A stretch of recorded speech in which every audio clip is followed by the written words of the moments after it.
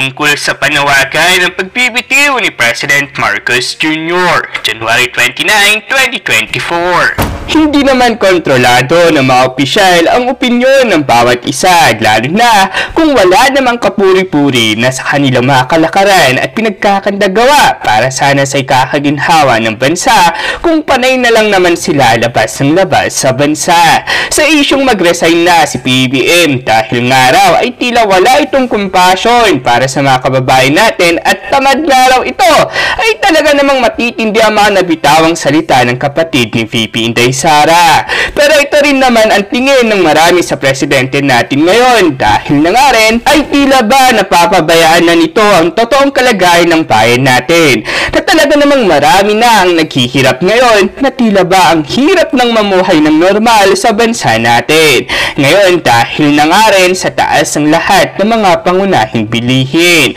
Sa kabila nga ng lahat ay nagsalita na nga din si VP Inday Sara at sabi nga nito, I have not spoken to my brother about his remarks on President Ferdinand Marcos Jr.'s resignation.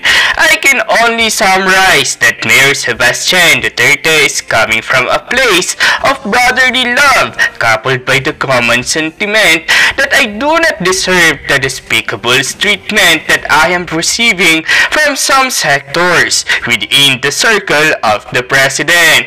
Gayunpaman, naniniwala ako na ang boto ng taong bayan ay isang pagkakaloob ng tiwala na ako'y magtatrabaho at maninilbihan para lamang sa Pilipino. Kasama ng tiwalang ito, ang tiwalang kakayanin ko ang anumang atake, black propaganda, paninirang puri, iba pang mga hamon na ibabato sa aking pagkatao. Hindi man madali, patuloy akong kumukuha ng lakas at inspirasyon sa tiwalang ibinibigay sa akin ng ating mga kababayan. I take heart from the confidence of the people in my ability to work and thrive in a pandemonium. Sa kabila ng lahat, hindi ako kailanman panghihinaan ng loob. I will stay true to my work at the Department of Education unless the President says otherwise.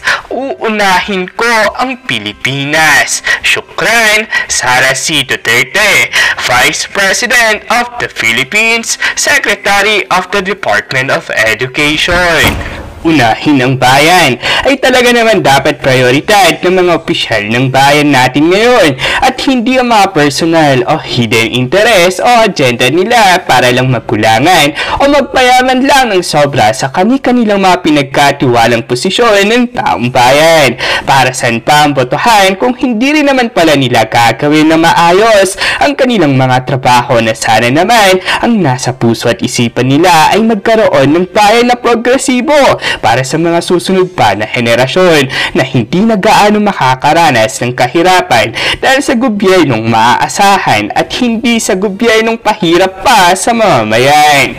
At sa kabilangan ng lahat, tumani nga ito ng samad-saring reaksyon mula sa mundo ng social media. Komento na nga lang din ng mga netizens sa naging isyong ito. Walang bagong Pilipinas, no? Di namin maramdaman dahil walang pagbabago. Lalo na ngayon, nagkamali sa pagboto sa BBM nyo. One year sa DAR si BBM. Di niya nga na-stabilize ang presyo ng bigas, lalo pang tumaas. Huwag na natin hanapin ang 20 dahil imposible yun. Sino dapat mag-resign kung may delikadesa? Dapat mag-resign yung Pres Polboronic at Kurakot, lalo na asawa at pinsan niya. At sa naging isyong ito, ano ang iyong naging reaksyon? Maghimalaya magbigay ng kanilang personal na opinion sa comment section. Anyways, for more Chikabe updates, don't forget to like and subscribe!